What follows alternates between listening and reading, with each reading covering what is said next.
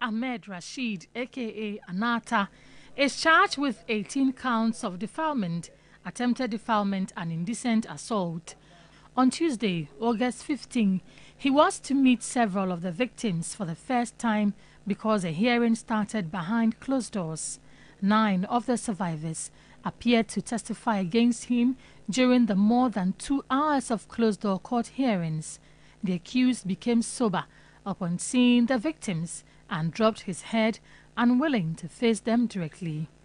As the case progressed, the judge had to repeatedly tell him to maintain his posture. More victims are scheduled to testify on Wednesday, August 16, which increases the likelihood that the hearing will be over in a record month, according to the prosecution led by the Chief State Attorney Saeed Shakor. It's